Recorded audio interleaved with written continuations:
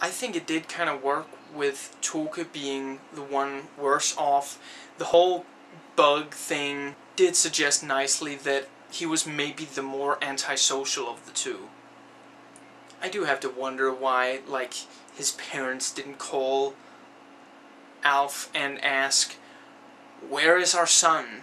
Would the teacher maybe have taken some action against the party when he found out that these kids, who don't look to be 15, we're all going to an unsupervised party with alcohol?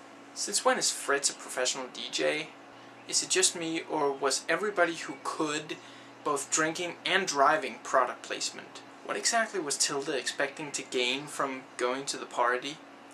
I did like that they had some nice moments, like, you know, the paint thing and maybe also the dance bit.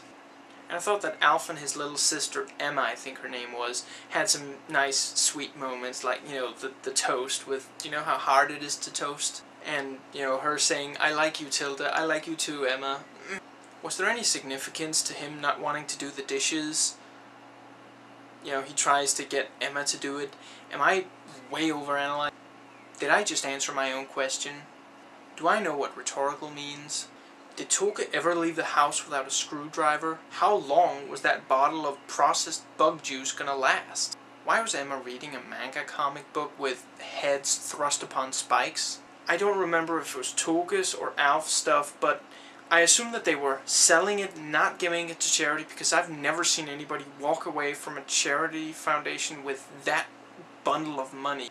By the way, does that mean that it actually cost that much for them to have that stuff? Where did their parents get that kind of dough? Was Toke returning empty bottles for Stuart Stardust?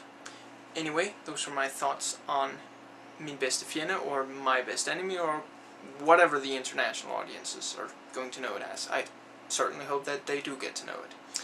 Hope you enjoyed it. See you next time.